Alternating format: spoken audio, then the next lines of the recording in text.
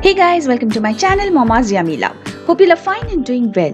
आज हम बनाने जा रहे हैं चाइनीज़ बाव बाव एक डम्पलिंग है या आटे में आप अपने चॉइस का फिलिंग भर के उसे स्टीम करिए। और आज हम बनाएँगे दोनों ओपन और क्लोज्ड बाउस और ट्रस्ट मी ये बहुत ही टेस्टी है। So without any delay just let's begin the video सबसे पहले एक कांच के बोल में हमें यहाँ पर लेना होगा दो टीस्पून यीस्ट, डेढ़ टेबल स्पून पीसी हुई शक्कर और इसमें हम डालेंगे तीन चौथाई कप यानी थ्री फोर्थ कप ऑफ़ थोड़ा सा गर्म पानी। पानी को मैंने माइक्रोवेव किया है 30 सेकेंड के लिए।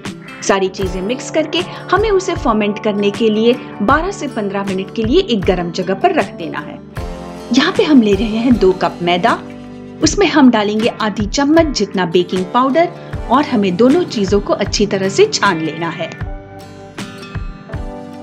ये हमारा यीस्ट वाला पानी बहुत अच्छी तरह से फॉर्मेंट हो गया है। उसे भी हम आटे में डालेंगे और अच्छा आटा बनाएँगे। और इसमें हमने डाला है डेढ़ टेबल स्पून जितना तेल और एक टीस्पून जितना नमक। सारी चीज़ों को हमें अच्छी तरह से आटे में मिक्स कर देना है। तेल और नमक हम बाद में ही डालेंगे यीस्ट के साथ मिक्स नहीं करेंगे। आटे को हमें गर्म जगह पर फर्मेंटेशन के लिए दो घंटे के लिए छोड़ देना है। अब हम देख लेते हैं हमारा पीनट सॉस कैसे बनता है। मिक्सर जार में हमने लिया है आधा कप भुनी हुई मूंगफली के टुकड़े, दो टेबलस्पून तिल, दो कली लहसुन की हमने इस तरह बारीक काट ली है। एक टेबलस्पून यह है इमली, जिसमें से हमने बीज निकाल लिए है। एक टेबलस्पून गुड़, उसको भी बारीक काट लिया है। यह एक टीस्पून लाल मिर्च पाउडर, स्वाद अनुसार नमक और आधे कप से थोड़ा कम हमने लिया है पानी। अच्छी तरह से ब्लेंड करके हमने एक बहुत ही अच्छा पीनट सॉस तैयार कर लिया है। लेते हैं कश्मीरी लाल मिर्ची की पेस्ट जिसे हमें फिलिंग में यूज़ करना है। सात से आठ कश्मीरी लाल मिर्च ली है हमने, उसमें से बीज निकाल लिया है, उसे काट लिया है कैची से और इस तरह गर्म पानी में भिगो दिया है और मिक्सर ग्राइंडर में बहुत ही कम पानी के साथ उसे ग्राइंड कर लिया है। तो ये हमारी कश्मीरी लाल मिर्ची की पेस्ट रेडी हो गई है। अब हम बना लेंगे हमारा बाव का फिलिंग तो उसके लिए एक पैन में हमने यहाँ पे लिया है तीन टेबल स्पून तेल और उसमें हम डालेंगे बारीक कटा हुआ छह टेबल स्पून लहसुन। आप यहाँ पे चॉपर का भी यूज़ कर सकते हैं। छह टेबल स्पून हमने बारीक कटा लहसुन डाला है और हम डालेंगे एक टेबल स्पून बारीक कटा हुआ अदरक। इसमें थोड़ी लहसुन की मात्रा ज़्यादा होती है। दोनों चीज़ों को हमें अच्छी तरह से दो से अढ़ाई मिनट तक सौटे कर लेना है। हल्का सा लहसुन का कलर चेंज हो जाए, फिर हम इसमें डाल देंगे हमारी कश्मीरी लाल मिर्ची वाली पेस्ट। हमें सारी पेस्ट डाल देनी है और वापस सारी चीज़ों को अच्छी तरह से सौटे कर लेना है या थोड़ा हल्का सा उसे भून लेना है। हमारी गैस की फ्लेम लो होनी चाहिए, ज़्यादा फास्ट फ्लेम पे हमें ये काम नहीं करना है। अच्छी तरह से सारी चीज़ें सौटे हो जाए, फिर हम उसमें डालेंगे आधा कप चॉप किया हुआ शिमला मिर्च। कैप्सिकम को दो से तीन मिनट तक अच्छी तरह से हमें सॉटे कर लेना है। यह है एक टीस्पून चिली सॉस। यहाँ पे हम डाल रहे हैं डेढ़ टेबल स्पून टमाटो सॉस। और ये है हमारा एक टेबल स्पून सोया सॉस। यहाँ पे हमने लिया है तीन टीस्पून कॉर्नफ्लोर और आधा कप पानी। दोनों चीज़ों को अच्छी तरह से हमने मिक्स कर दिया है और उसे भी हम यहाँ पे डाल रहे हैं। सारी चीज़ों को अच्छी तरह से हमें मिक्स कर लेना है।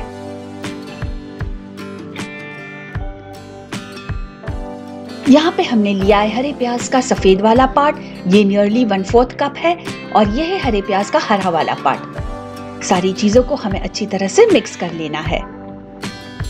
यहाँ पे हम और डालेंगे दो टेबलस्पून चॉप किया हुआ लहसुन और आधी टेबलस्पून चॉप किया हुआ अदरक। वन फोर्थ टी स्पून काली मिरी पाउडर और ये है नियरली एक से डेढ़ तीखी वाली हरी मिर्च, जिसे बहुत बारीक काट लिया है और वापस हमें सारी चीज़ों को ठीक से मिक्स कर लेना है।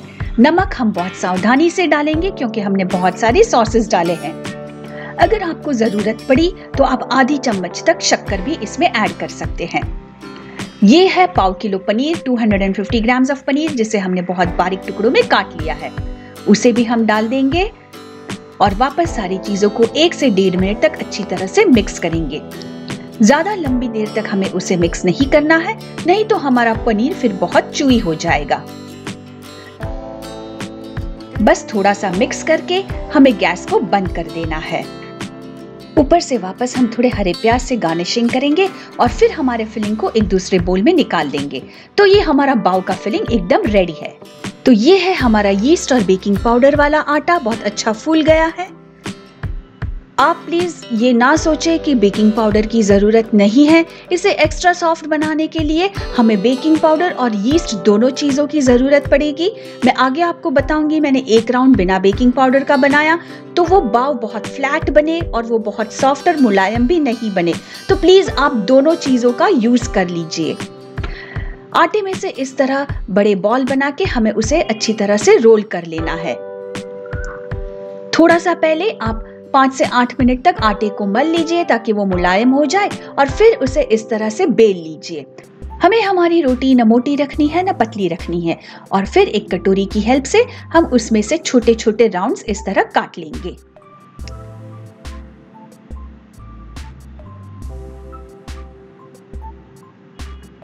जैसे ही आटा कम होता जाएगा, आप छोटे छोटे राउंड्स काट पाओगे। फिर हमें बीच में इस तरह बहुत ठीक तरह से तेल लगाना है और हमें फोल्ड कर देना है। ये बनेंगे हमारे ओपन बाउस तो बीच में हम तेल लगा के स्टीम करके फिर उसे ओपन कर देंगे। तो अगर तेल ठीक से नहीं लगा होगा तो फिर स्टीम होने के बाद वो ठीक से खुलेंगे नहीं। एक बार आप तेल लगा के बंद कर दे, फिर वापस इसे थोड़ा सा बेल ले। हल्के से बेलिए, ज़्यादा प्रेशर ना दीजिए। हल्का हल्का आपको उसे वापस थोड़ा बेल लेना है। तो ये हमारे ओपन बाउल स्टीमिंग के लिए रेडी है और अब हम देख लेते हैं कैसे इसकी स्टीमिंग करनी है। रेसिपी भले ही चाइना की हो, हम हमारे हिसाब से ही बनाएँगे उसे। तो यहाँ पे एक इडली मोल्ड लिया है और ये केले के पत्ते हैं, उसे इस तरह गोलाकार में काट के ऊपर अच्छी तरह से तेल लगा लिया है। फिर ये जो ओपन बाउज हमने बेले हैं, वो उस पर हम रख देंगे।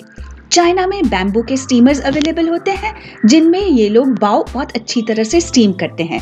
अगर आपके पास ये केले के पत्ते का अरेंजमेंट नहीं है तो डेफिनेटली आप पार्चमेंट पेपर में भी ये बहुत अच्छी तरह से स्टीम कर सकते हैं। अब हम जैसे रेगुलर इडली स्टीम करते हैं, वैसे ही एक इडली स्टीमर में पानी गर्म हो जाने पर हमारे बाव स्टीम होने के लिए 10 से 12 मिनट के लिए रख दिए हैं।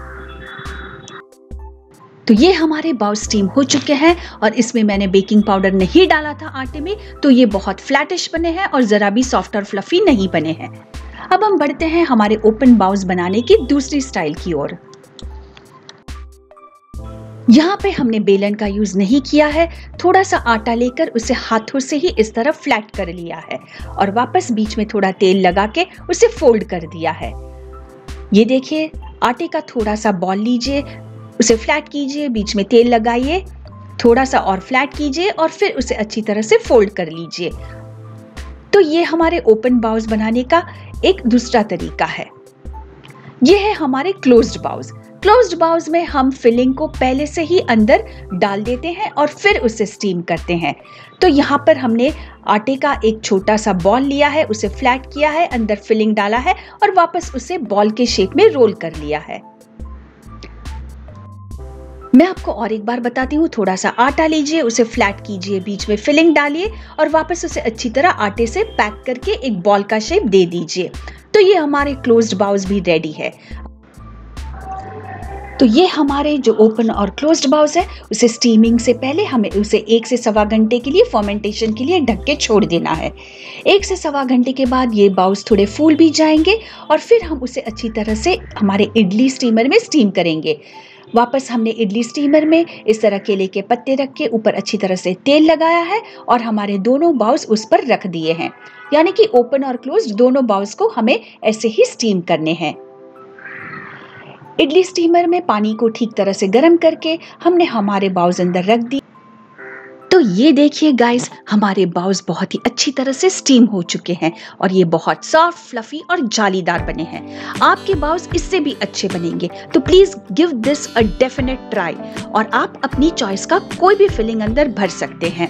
तो ये बाउस को खोल के आपको उसके अंदर स्टफिंग भरना है और ऊपर से हम डाल रहे हैं हमारा पीनट सॉस ऊपर से हम कर देंगे गार्निशिंग पतली और लंबी कटी सब्जियों से, जैसे कि प्याज, बीटरूट, गाजर, हरे प्याज के हरे वाले पत्ते और थोड़े से तिल। अगर आपको पसंद हो तो वापस आप ऊपर से थोड़ी सी चटनी भी डाल सकते हैं। ये देखिए गाइस ये बहुत ही इंटरेस्टिंग और बहुत ही डिफरेंट और बहुत ही डिलीशियस रेसिपी है। तो प्लीज़ इसे ट्राई कीजिए, मेरे वीडियो को लाइक और शेयर कीजिए और मेरी चैनल को सब्सक्राइब कीजिए। और ऐसी ही इंटरेस्टिंग रेसिपीज़ के लिए मामास किचन ऐप को डाउनलोड कीजिए। See you soon with some more nice and good recipes till then goodbye and stay safe